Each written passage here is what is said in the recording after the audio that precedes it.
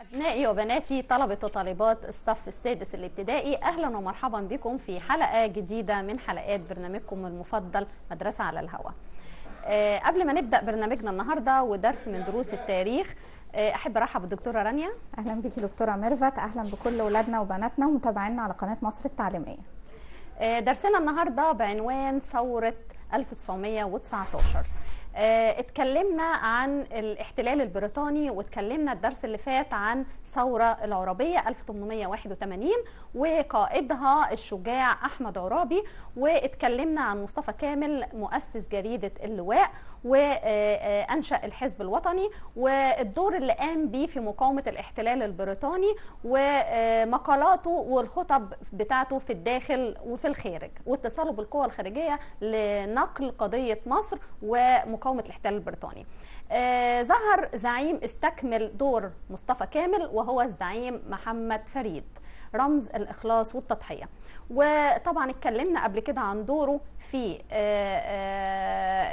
مقاومة الاحتلال البريطاني. مش بس كده ده هو دعا لإنشاء مجلس نيابي وكمان دعا لإنشاء حكومة وطنية تمام؟ ومقاومة الاحتلال البريطاني. وأقام المدارس لتعليم الفقراء وأبناء العمال تمام؟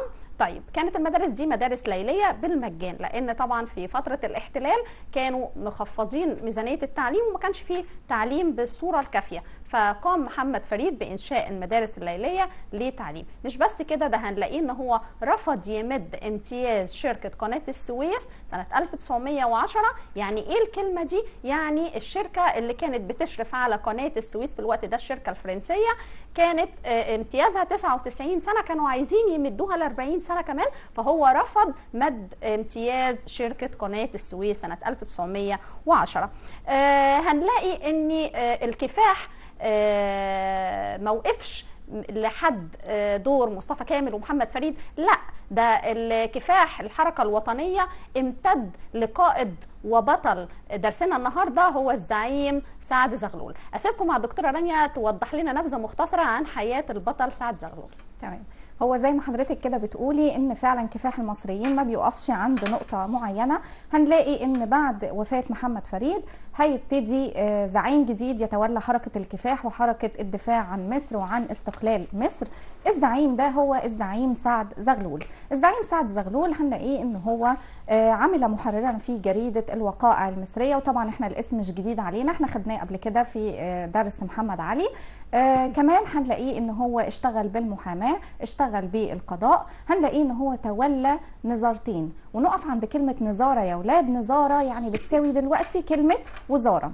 هنلاقي إن الزعيم سعد زغلول تولى نظاره المعارف عام 1906 ونظاره المعارف يعني دلوقتي بتساوي كلمة وزارة التربية والتعليم. ده كان سنة 1906 هنلاقي كمان إن هو تولى نظاره الحقانية أو وزارة الحقانية اللي هي وزارة العدل حاليا عام 1910 شارك في الدعوة إلى إنشاء الجامعة المصرية. كمان هو كان عضو بارز في الجمعية التشريعية عام 1913 هيكتسب شعبية وهيكتسب تأييد كبير من المصريين عام 1919 لأنه هيتزعم ثورة ضد الاحتلال ضد بريطانيا وهيحاول أنه يحقق استقلال مصر اللي بدأوا أحمد عرابي في الفترة ديت هنلاقي إن في فترة زعامة سعد زغلول والتفاف الشعب حواليه هنلاقي إن الوقت دوت كانت قيام الحرب العالمية الأولى. ويعني إيه حرب عالمية الأولى؟ اللي هي سنة 1914 اللي انتهت 1918 امتدت أربع سنوات. طيب يعني إيه حرب عالمية الأولى؟ هي كتلتين من من مجموعة من الدول بتحارب بعضها تمام؟ طيب الحرب العالمية الأولى دي زي ما أنا قلت لك بدأت 1914 هنلاقي يا أولاد إن الولايات المتحدة آه وبريطانيا كانوا حلف واحد؟ هنلاقي إن آه الدول اللي كانت آه يعني أعلنت بريطانيا والولايات المتحدة إن الدول اللي إحنا بنحتلها في حالة إن هي تساعدنا فبعد ما تخلص الحرب هنبدأ إن إحنا آه،. نساعدها وإن إحنا نعطيها الاستقلال. طيب هنبص نلاقي إن بريطانيا أعلنت بعد الحرب العالمية الأولى نسيت وعودها للمصريين اللي هم بالفعل ساعدوها بكل موارد واقتصاد مصر ساعد الاحتلال البريطاني ووقف جنب بريطانيا في الحرب العالمية الأولى. طب يا ترى بريطانيا هتحقق وعودها اللي هي قالتها لما تساعدوني هديكوا استقلالكم بالطبع لا. ده أصدرت قرار إن هي أعلنت حمايتها بالفعل على مصر وبيجي لك هنا سؤال ويقول لك بما تفسر أعلنت بريطانيا حمايتها على مصر ليه؟ لكي تنهي تبعية مصر للدوله العثمانية. العثمانية لأن إحنا عارفين إن كانت مصر تتبع الدولة العثمانية تمام؟ الدولة العثمانية كانت مصر من ولايتها. طيب دلوقتي بقى أول إعلان قالته بعد الحرب آه، بريطانيا هي إعلان الحماية البريطانية على مصر. مش بس كده ده هنبص نلاقيها إن هي استغلت كل موارد مصر البشرية والطبيعية في خدمة آه، آه، الاحتلال. بمعنى إيه؟ إن هي عملت إجراءات تعسفية وبدأت تجبر المصريين على التجنيد بالعافية. يعني تخلي المصريين يحاربوا معاها في الحرب العالمية الأولى بالعافية. بقى قامت بتجنيد أعداد كبيرة من الجنود المصريين. تمام؟ ده إجراء تعسفي طبعا. تمام. مش بس كده فرضت عليهم الضرائب كمان وهنلاقي إن هي وضعت المواني والسفن آه، المصرية والمواني المصرية والسكك. الحديدية لخدمة قوات الاحتلال. تمام. تمام؟ طب الجزء دوت فيه عدل. لا طبعا إحنا نديله بقى عنوان كده إن دي سياسة بريطانيا أثناء الحرب العالمية الأولى. يعني لما بدأت الحرب الحرب بدأت في أغسطس 1914 تمام. بريطانيا قامت ببعض الإجراءات تجاه مين؟ مصر لأن هي تمام. محتلة مصر في الوقت ده. تمام. طب إيه الإجراءات اللي عملتها؟ يبقى رقم واحد إن هي فرضت الحماية على مصر أو أعلنت الحماية على مصر. طب تاني حاجة هيترتب على إعلان الحماية إيه؟ إنهاء تبعيتها للدولة العثمانية. تالت حاجة عملتها الإجراءات التعسفية اللي, اللي هي, هي- بقى اللي لسه دكتورة ميرفت كانت قايلها لنا إن هي تجنيد الإجباري للمصريين كمان وضع المواني والسكك الحديدية في خدمة بريطانيا أثناء الحرب العالمية الأولى وفرض الضرائب على المصريين. يبقى دي كانت سياسة بريطانيا لما بدأت الحرب العالمية الأولى. طب كل ده كان مقابل إيه؟ مقابل إن لما تنتهي الحرب إحنا هنعطيكم الاستقلال. نشوف بقى كده هتنتهي الحرب وإيه اللي هيحصل. ما هي لما انتهت الحرب لقت إن كل الوعود مصر لقت إن الوعود ديت كانت وعود على الورق. آه، بريطانيا لم تلتزم بيها. فتبدأ هنا الشعب هيبقى فيه حراك في الشعب. تمام. تمام؟ هيظهر دوت في آه، آه، التفاف الشعب حول زعيمنا اللي هو بطل حلقتنا النهارده اللي هو الزعيم سعد زغلول. تمام؟ هيبدأوا يلتفوا حواليه. سعد زغلول هيبدأ هو وبعض من رفاقه أو أصدقائه اللي هو علي شعراوي وعبد العزيز فهمي إن هم يبدأوا يتحركوا ويخاطبوا السلطات الاحتلال ويقولوا لهم إحنا أهو فين مطالبكم وفين وعودكم. طيب إيه مطالبهم؟ راحت راح سعد زغلول وعلي شعراوي وعبد العزيز فهمي اتجهوا لسلطات الاحتلال وطالبوهم بان هم يسافروا لمؤتمر الصلح في باريس. طب أنا عايزة حضرتك قبل ما ندخل في التفاصيل تعرفي ولادنا يعني إيه مؤتمر الصلح؟ تمام. هو بعد انتهاء الحرب العالمية الأولى تم عقد مؤتمر اسمه مؤتمر الصلح. مؤتمر الصلح ده عقد في باريس وكان مهمته أن الدول الكبرى أو الدول الأوروبية هتجتمع لتبحث ال- الأنظمة السياسية في الدول بعد انتهاء الحرب العالمية الأولى. يبقى مؤتمر الصلح معقود بين الدول الأوروبية ده كان في باريس علشان يبحثوا الأوضاع السياسية. طب عندنا حاجة مهمة جدا إن في الوقت ده كان في مقدمات كده لثورة 1919 يا ترى إيه المقدمات دي؟ إيه اللي خلى المصريين إن هم يفكروا يقوموا بثورة ويلتفوا حول الزعيم سعد زغلول عام 1919 هنلاقي عندنا ثلاث حاجات.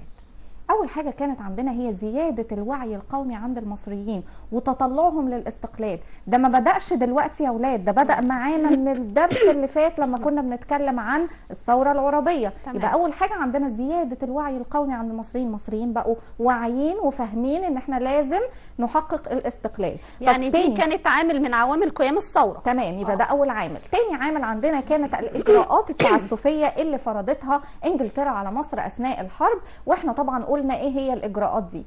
تالت آه، سبب أو ثالث عامل شجع المصريين على الالتفاف حول سعد زغلول وقيام آه، ثورة 19 هي إعلان الرئيس الأمريكي ويلسون مبدأ حق تقرير المصير. يعني إيه مبدأ حق تقرير المصير؟ يعني حق الشعوب في تقرير مصيرها. يعني أنا دلوقتي دولة كبرى ومحتلة دولة آه، ضعيفة أو دولة صغيرة من حق الدولة دي إن هي تقبل الحماية وتظل تحت حماية الدولة الكبرى أو إن هي ترفض ده وتحقق استقلالها وتدير شؤونها بنفسها. هو ده مبدأ حق. تقرير المصير. زي ما إحنا شايفين على الشاشة بما تفسر قيام ثورة 19 زي ما الدكتوره قالت لنا دي عوامل قيام الثورة. تمام؟ دي عوامل قيام الثورة.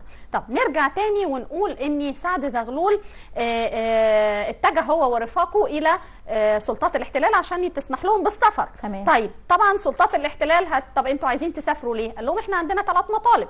ثلاث إلغاءات ثلاث إلغاءات. إلغاء الحماية البريطانية على مصر دي المطالب اللي اللي, اللي الوفد المصري هيروح يقولها في مؤتمر الصلح. تمام اللي هي إلغاء الرقابة الغ- إلغاء الحماية البريطانية على مصر إلغاء الرقابة على الصحف والمطبوعات. ثالث حاجة إلغاء الأحكام العرفية. هنقولهم مع بعض يبقى دول ثلاث مطالب اللي كان هيطلبهم آه، الوفد لمؤتمر الصلح في باريس. تمام. يبقى إلغاء الحماية البريطانية إحنا مش عايزين حماية بريطانية مش عايزين حد يحمينا. تمام؟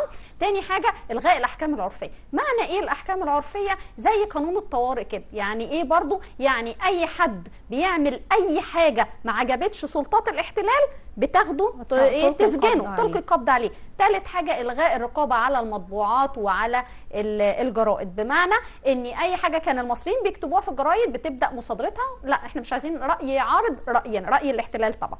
طبعا إيه اللي حصل؟ حصل صدام بين أعضاء الوفد وبين قوات الاحتلال البريطاني. يا ترى هترفض ولا هتوافق؟ بالطبع هترفض. هترفض. يا قوات الاحتلال قالت لا استوب مش هتسافروا. طب طب إيه الحجة- نتيجة ده بقى؟ لا الحجة اللي قالتها إيه؟ يعني قالت إيه للمصريين لما أو من الوفد لما جه يطلب إن هو يسافر لمؤتمر الصلح ويعرض مطالب الأمة؟ مم. قالت لسعد زغلول أنت بتتحدث إزاي بشأن الأمة وأنت ما فيش ما يثبت إن أنت ب يعني القائد دي دي, آه. دي قرارات الأمة أو دي مطالب الأمة فاتجه سعد زغلول إلى تعبئة الرأي العام. يعني إيه بقى؟ يعني ابتدى يتصل بالمصريين وبالقوى السياسية الموجودة في مصر ابتدى يحاول إن هو يجمع توقيعات للمصريين بتفويض سعد زغلول وأعضاء الوفد. بإن هم يطالبوا آه، سلطات الاحتلال بالسفر لباريس وعرض مطالب الأمة. طيب إيه اللي هيحصل في الوقت ده؟ آه. هنلاقي بقى طبعا سلطات الاحتلال البريطاني هتحس إن موقفها ابتدى يتزعزع في مصر وإن في ثورة هتقوم. فتعمل إيه؟ تلقي القبض على الزعيم سعد زغلول وعلى آه، زملائه وتقوم بنفيهم إلى جزيرة مالطا. خلي بالنا هنا يا دكتورة إن يعني ركزي في الحتة ديت على جزيرة مالطا دوت النفي ال- الأول, آه. تمام. لما كنت لسه هقول لأولادنا خلوا بالكم عشان آه. في عندنا مرة تانية هيتم برضو نفي. نفي, آه، سعد زغلول يبقى المرة الأولى تم نفيه إلى جزيرة مالطا. تمام. آه يبقى هنا ممكن نقول في سؤال ما النتائج المترتبة على وقوع صدام بين قوات الاحتلال والزعيم سعد زغلول أو أعضاء الوفد المصري. هنقول نتيجتها اللي هو نفي سعد زغلول وتعبئة الرأي العام. نخلي بالنا من تعبئة الرأي العام دي. أنا دايما الولاد بينسوها. ما تنساش كلمة تعبئة الرأي العام. وزي ما الدكتورة قالت لنا تعبئة الرأي العام يعني تجمع الشعب حوالين آه، سعد زغلول. تمام.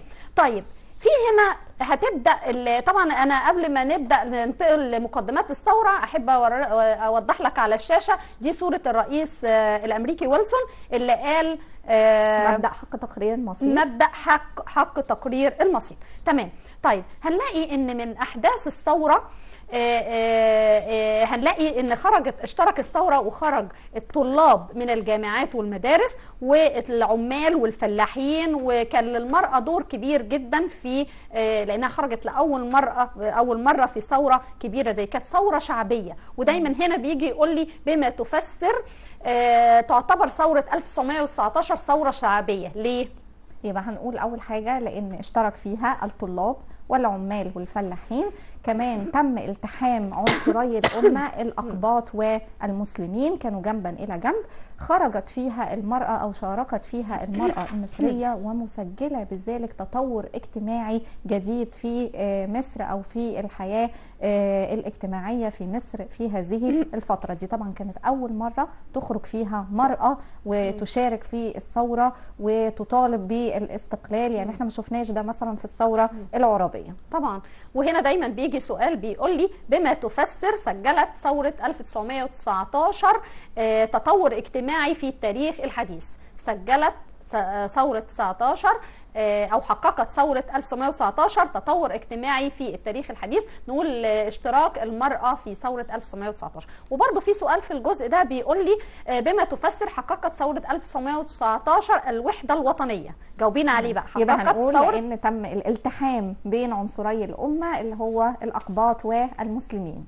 تمام. طيب ديت المقدمات بتاعت الثورة إن خرجت الناس كلها فطبعا هيحصل آه إن إنجلترا ما كانتش تعرف آه قيمة الزعيم سعد زغلول في الوقت ده آه عند المصريين. فهتجري بسرعة وتبدأ إن هي تفرج آه عن. سعد زغلول وعن رفاقه وتسمح ليهم كمان بأن هم يسافروا إلى باريس أو إلى مؤتمر الصلح في باريس. بس للأسف لما سافر سعد زغلول ورفاقه إلى مؤتمر الصلح في باريس. مؤتمر الصلح خيب آمال المصريين. يعني إيه خيب آمال المصريين؟ ما كانش آه، آه، ما كانش عادل. لأن مجموعة الدول اللي بتتكون منها مؤتمر الصلح دي كلها دول مستعمرة لدول أخرى. تمام. فإزاي هنطالب بالعدل مع دول بتستعمر دول أخرى. فبالتالي خيب آمال المصريين. وهنا برضو بيجي لي سؤال بما تفسر خيب آه، آه، مؤتمر الصلح في باريس آمال المصريين. ليه يا دكتور؟ يبقى لأنه أقر الحماية البريطانية على مصر. يعني إيه أقر؟ يعني اعترف. وافق. يعني اعترف بالحماية البريطانية على مصر. رفض إن مصر إيه؟ تحصل على استقلالها. تمام.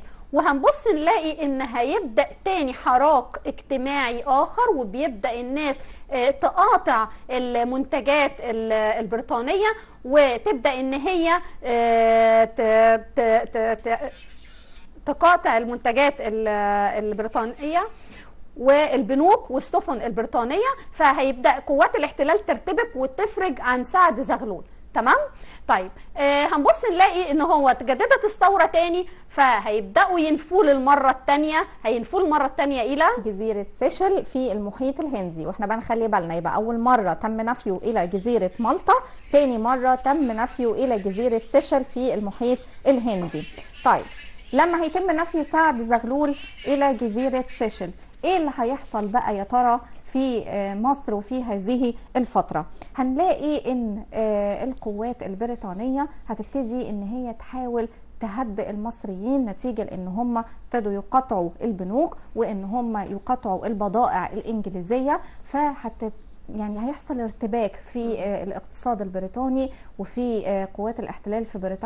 بري- البريطانية في مصر. فهنلاقي إن هم يفرجوا تاني عن سعد زغلول ورفاقه. طيب ويعملوا حاجة مهمة جدا إنهم هيصدروا تصريح. وهنقف عند التصريح ده لأن إحنا هنتكلم فيه كتير مع بعض. نكتب بس عنوان التصريح مع بعض هو تصريح فبراير 1922 تمام. آه تصريح 28 فبراير 1000 1922 آه اعترفت بريطانيا فيه بحرية مصر واستقلالها تمام ده بشكل مؤقت بس قالت في أربع تحفظات أو أربع شروط هي آه بتفرضهم على مصر اللي هم إيه؟ تأمين قدامك على الشاشة تأمين المواصلات البريطانية في مصر والدفاع عن مصر ضد أي اعتداء أجنبي وحماية المصالح الأجنبية في مصر وأن يبقى الوضع في السودان وفقا لاتفاقية الحكم الثنائي 1899 بمعنى إيه تأمين المواصلات البريطانية؟ يعني مصر تأمن وجود بريطانيا داخلها. يعني المواصلات آه، تبقى تحت خدمة الاحتلال البريطاني. مش بس كده ده بريطانيا كمان لو أي اعتداء جه على مصر لازم إن هي اللي تدافع عنه. طبعا ليه؟ زي ما حضرتك قلتي عشان آه، بريطانيا ليها مستعمرات في. الهند. وطبعا موقع مصر موقع متميز وبيهدد وجود أي احتلال في مصر بيهدد مصالح بريطانيا. هنلاقي إن على مصر كمان تحمي المصالح والأقليات الموجودة على أرضها. مش بس كده ده هنلاقي إن السودان بعد ما كان حكمها آه لمصر بس لا ده إنجلترا كمان هتشترك مع مصر في حكم السودان. تمام. طيب يا ترى مصر هتقبل التحفظات الأربعة دي؟ تمام. هو بس إحنا إيه نوضح كده التصريح واحدة واحدة بقى للولاد ونشرح لهم كده آه، كل بند منه ونوريهم هل ده استقلال حقيقي ولا استقلال سوري. إحنا هنستنتج في الآخر. مم. طيب أول حاجة بيقول لنا إن التصريح اعترف بانهاء الحماية البريطانية على مصر, مصر. حلو جدا. إيه رأيك فيه؟ آه يعني بس حاجة كان جميلة. كان كان يعني احتلال آه استقلال سوري. ما هو إحنا لسه إحنا هنقبله. هنقول في الآخر. آه. طيب يبقى أول حاجة أعلنوا إن مصر خلاص دولة آه، مفيش حماية فيها آه، أو حماية بريطانية. مم. طب حلو جدا إحنا موافقين. بس استنوا إحنا لينا أربع شروط. آه. إيه بقى الأربع شروط دول؟ عندنا أول حاجة هي تأمين المواصلات آه، البريطانية في مصر. يعني إن بريطانيا لازم يبقى ليها قوات علشان تحمي آه، المواصلات بتاعتها. ما عندناش كمان آه، آه، أحقية إن إحنا نحكم السودان لوحدنا اللي هي اتفاقية الحكم الثنائي. طيب إحنا زي ما إحنا قلنا كده وطبعا بالنسبة لنتائج تصريح 28 فبراير إن إحنا عملنا انتخابات وعملنا دستور 23 وعملنا أول حكومة دستورية سنة 1924 آه طيب آه دلوقتي هنطلع فاصل وانتظرونا في درس من دروس الصف الأول الإعدادي.